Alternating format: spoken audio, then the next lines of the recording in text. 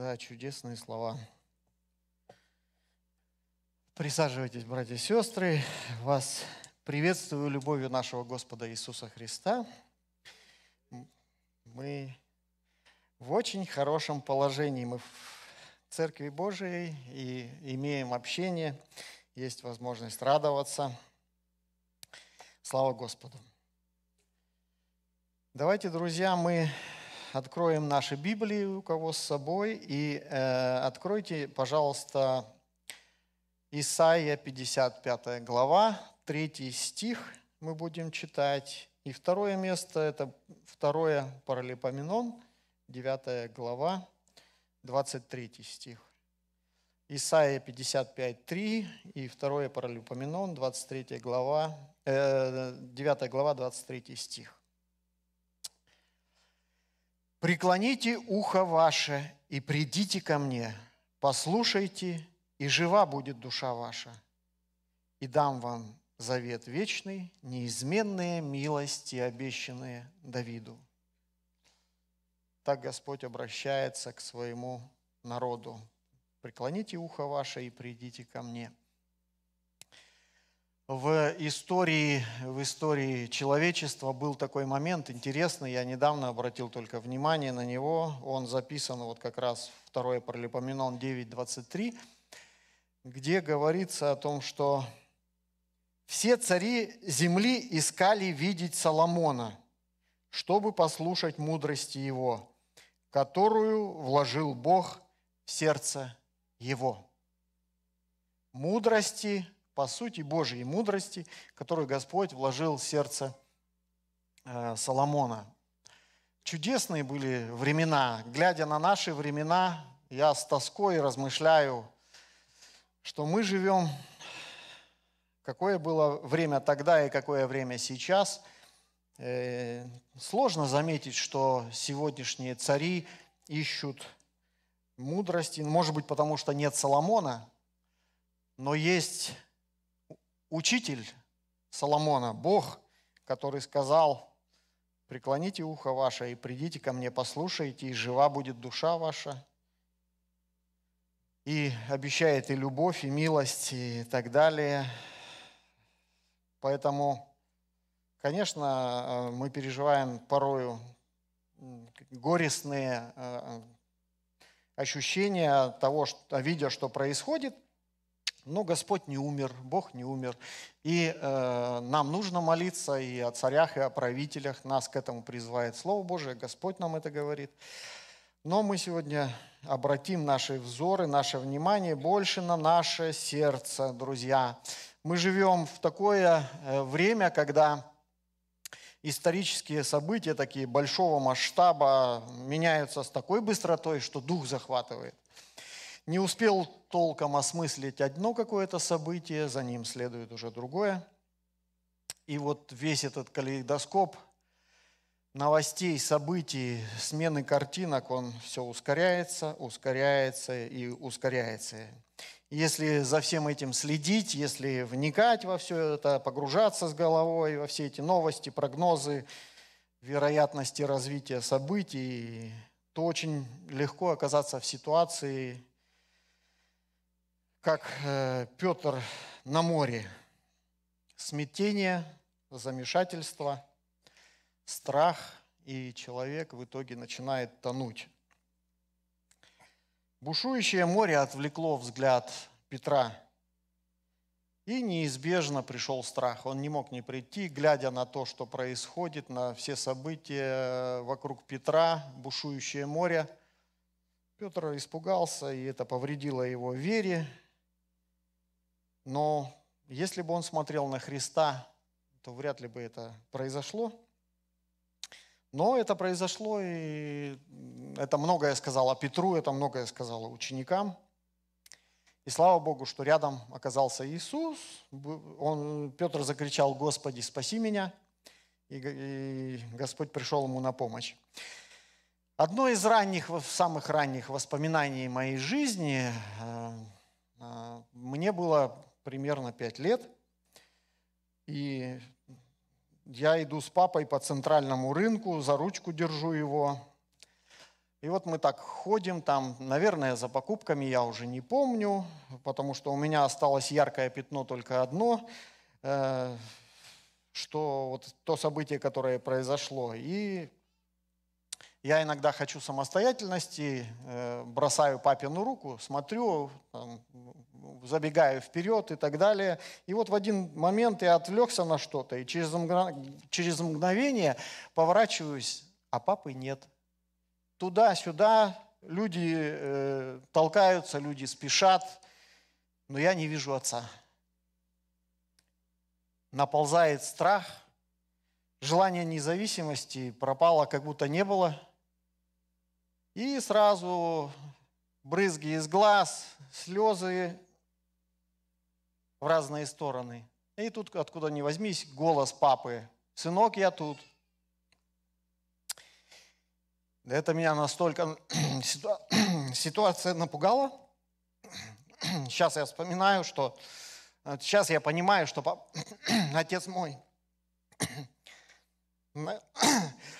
простите, простите, наверное, специально допустил такую ситуацию, чтобы я понял зависимость мою от отца. И это был очень хороший урок, потому что Э, вот уже, наверное, полвека почти прошло, а я до сих пор помню, и вряд ли, наверное, когда забуду этот момент, я оценил отцовскую присутствие, руку, и много еще раз, я помню, мы с отцом гуляли, ходили. Я также э, смотрел по сторонам, любознательно все, но крепко держал руку отца. Мы все зависим от нашего Бога, любящего Бога, как маленький ребенок от своего отца. И все мысли о нашей собственной значимости о нашей самостоятельности э, на поверку, на самом деле, это просто наивные иллюзии. Господь, конечно, знает нашу слабость, Господь знает нашу полную зависимость от Него. И, э, мы только вот иногда забываем об этом, упускаем почему-то это из виду, и ничего хорошего из этого не получается. Вместо того, чтобы крепко держаться за руку отца, мы э, в различных обстоятельствах пытаемся искать какого-то своего пути, пытаемся сами устроить свою жизнь, полагаясь на разум, полагаясь на опыт, полагаясь на авторитет свой, еще на какие-то вещи. Но это все очень зыбкое основание, и не мудрено, что чаще всего, если мы не успели остановиться вовремя, это заканчивается ошибками, заканчивается неприятностями, заканчивается потерями, какими-то переживаниями. И в конечном итоге бывает только горько и стыдно. И я думаю, что каждый из здесь находящихся может вспомнить ситуацию в жизни, когда он не посоветовался с Господом, а была возможность. И принял какое-то решение, или что-то сказал, или что-то сделал такое, что впоследствии многие годы было стыдно. У меня, по крайней мере, таких случаев не один. Я с горестью вспоминаю и здесь уже случай с папой не помогает иногда. Почему? Да потому что не вспоминаешь как-то в жизненной ситуации, когда это происходит. И нужно больше нам любить Господа и э, думать о нашей зависимости от Него. Потому что когда мы попадаем в беду, сразу приходит отрезвление. Но бывает часто уже поздновато. В притче Соломона написано в третьей главе, пятым стихом. Притча Соломона 3.5. «Надейся на Господа всем сердцем твоим, и не полагайся на разум твой». Библия говорит очень много мест Писания, которые призывают нас, э, чтобы мы э, руководствовались разумом и в служении, и в других вопросах, и в э, убегание от греха. Очень-очень много мест. Я смотрел их просто, прочесть все даже за один раз очень сложно. Но здесь э, говорит Слово Божие, не полагайся на разум свой, надейся на Господа. И это очень, очень правильное, очень хорошее правило, которое в любой ситуации жизни никогда нас не подведет. Каждый, надеющийся на Господа, никогда не будет постыжен. Это правило азбука, это догма, которую должен каждый христианин никогда не забывать. И вот прежде чем мы прочтем наш последнее место Писания, последний стих, я бы хотел э, э, сказать несколько слов о псалме, в котором записан этот стих. Это 84-й псалом, он был написан после Вавилонского пленения израильского народа в 538 году до Рождества Христова. Персидский царь Кир позволил евреям, евреям вернуться на родину – и вот в этом радостном событии, которое исполнилось, э, в котором исполнилось пророчество о милости Божией, записанное в Исаия 40 и 45 главе. И вот что с этим событием было связано? Мы видим, что израильский народ, вернувшись домой, многие из тех, кто вернулся, они, э, их ждало разочарование – той политической независимости, о которой они мечтали, ее не было, как и прежде. Э, другие народы относились э, враждебно. Иудейское начальство далеко не всегда думало про свой народ. Строительство храма очень затянулось. Плюс засуха, неурожай привели к тому, что первоначальное вдохновение, радость сменилось сетованием, унынием, а, пострадала в определенной степени вера многих людей. И вот этот Псалом 84, это, можно его назвать таким коллективным плачем, коллективным покаянием народа перед Богом. Народ э, молит о милости Божией, потому что они столкнулись с такими переживаниями. Но ну, а Почему? Эта реальность была такова, что та действительность, с которой э, они, вернувшись на родину, столкнулись, она не соответствовала их ожиданиям, но и поступки народа не соответствовали ожиданиям Бога. И вот поэтому им через многое пришлось пройти. И Господь хотел, чтобы народ его приблизился к нему.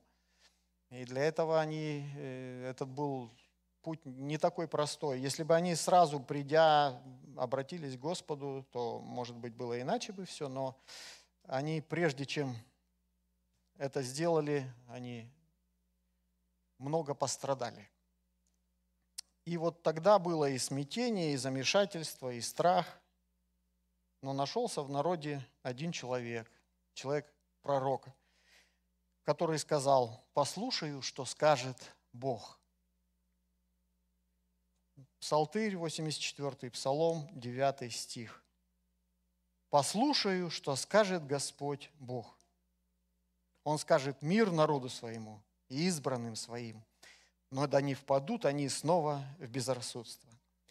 Я бы хотел, конечно, во-первых, акцентировать свое внимание на том, что нашелся такой человек, который сказал, пойду посоветуюсь с Богом, послушаю, что скажет Господь Бог. Дай, Господь, чтобы среди нас таких было больше, и чтобы каждый из нас, понимая нашу зависимость перед Господом, прежде чем принимать какие-то решения, прежде чем отчаиваться и терять веру, прежде чем что-то сказать, прежде чем принять какое-то решение, особенно когда нам кажется, что мы очень правы, имеем право вот какие-то радикальные меры в отношении ближнего принять, нам лучше сходить к нашему Отцу и поговорить с Ним прежде. И вот в этом стихе мне очень нравится, что здесь есть и ободрение. Э, при всех переживаниях пророк говорит, послушаю, что скажет Господь Бог. И дальше я не знаю, это ему было откровение, или он знал Господа хорошо. Но он точно знал, что кроме мира Отец ничего другого не даст своему народу. Он говорит, он скажет мир народу своему и избранным своим, но да не впадут они снова в безрассудство. Вот имея опыт ошибок в нашей жизни, нам желательно не забывать, что лучшая дорога в нашей жизни, которая есть, это дорога за советом к нашему Небесному Отцу. Да благословит нас всех Господь. Аминь. Помолимся.